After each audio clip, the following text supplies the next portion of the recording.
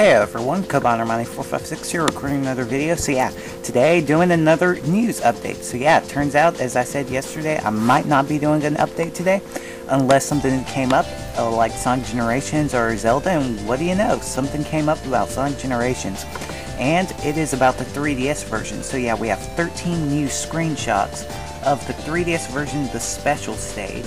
And I gotta say, this looks really pretty for the 3DS. As you can tell, there are a few jaggy, like, lines on the some of the backgrounds and stuff like that. But really, this game looks quite pretty, and it looks trippy as heck. I mean, it looks like just crazy almost. And it's obvious that the special stage is kind of based off um Heroes, Sonic Heroes, and um with the boosts and all that stuff. And these are the only parts where um in Sonic Generations where Sonic is actually played 3D behind the back.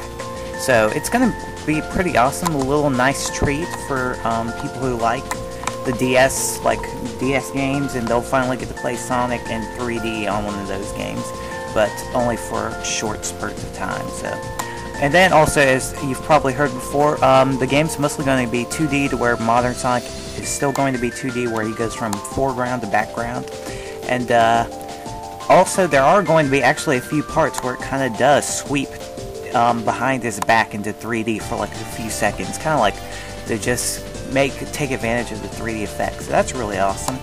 And uh, you know, it's kind of this game is looking a lot more polished, and these screens are a lot clearer now.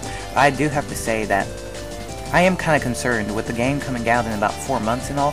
We haven't heard too much about other levels really, or seen any other pictures of the other levels. All we've seen is the special stage. Maybe Sega is just trying not to reveal too much about the 3DS version, but they're trying to show the special part about, like the special stages, which is something unique that the 360 and PS3 versions don't have. But since Sonic Generations 3DS has totally different stages besides Green Hill Zone, it's kind of a puzzling. It's kind of puzzling, so I don't know. But uh, what was I going to say about it? Dimps is currently working on the game, so I haven't heard too much about physics yet. I haven't really seen any problems besides um, classic Sonic's jumping floaty, and then also how uh, he kind of uncurls from hills and stuff like that, and that could that could that's very flawed. So not excited about that. And then Mario and Sonic at the Olympics, we have some more info on that, the 3DS version and the Wii version.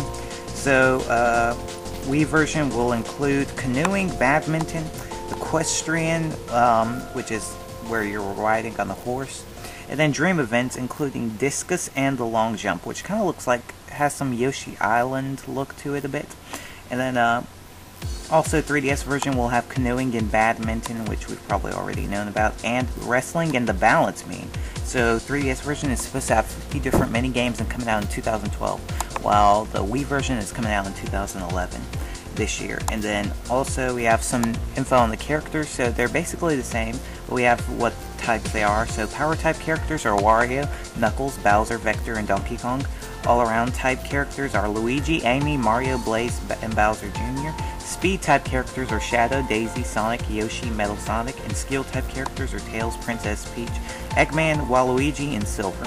And so far I've heard the Wii version is actually quite fun, like with the horse riding and all that stuff, but I don't know how long that could keep someone busy. But so far from what I've heard, it's supposed to be pretty fun, but you know, it's not something that's really, really compelling if you want like something that'll last you a while or something like that. So, also, uh, that's oh, we have some news on um Sonic comic. Um, we have new um comic covers of 230, I believe. I gotta say, this is freaking awesome because we see Sally alive.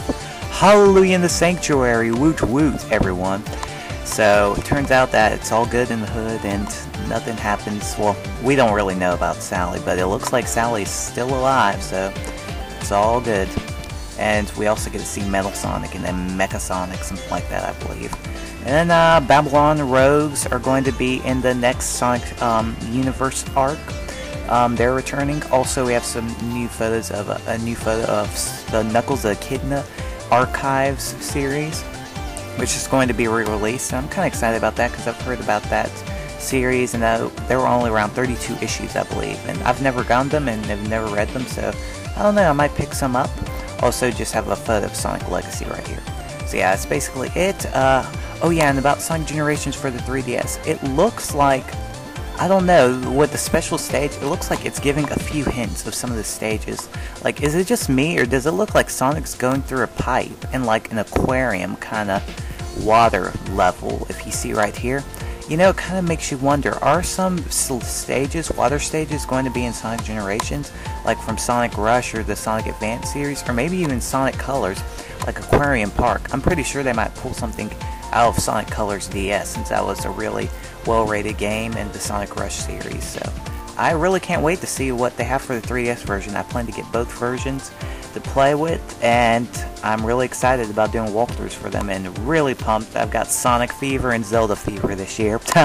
yeah, screw Beaver Fever. Beaver Fever sucks, but Sonic and Zelda Fever rock. So anyway, uh, yeah, thanks for watching. Goodbye on my 456 signing out. Peace, everyone. Please remember, comment, like, subscribe. Stay tuned for more 3DS vids, walkthroughs, and updates. And yeah, uh, turns out I'm about to buy a Wii actually, so that I can have a Wii for Skyward Sword. And I know a lot of people have asked me to do a walkthrough of Twilight Princess, but seriously, I do not think that would be smart right now. I might do it when I have more subscribers and more views and all that stuff. But a Twilight Princess walkthrough, that's a really long game. I probably wouldn't even be done by the time uh, Skyward Sword comes out or Star Fox 64 3D comes out. And then another thing, that is one of the most overdone walkthroughs on overdone game walkthroughs on YouTube. So because of that, people are going to see so many of these walkthroughs before mine, and I just won't get a lot of views on it. And it just doesn't seem smart to do it right now just yet. I might do it after Skyward Sword's launch or something like that later um, in the year, but for now, not anytime soon, really. But uh, I'm thinking about getting the Wii game to probably do a walkthrough on. I don't know, whatever you want me to do. Uh, give me your opinions or something like that. I don't know, I might try Epic Mickey. I heard that game kind of sucks.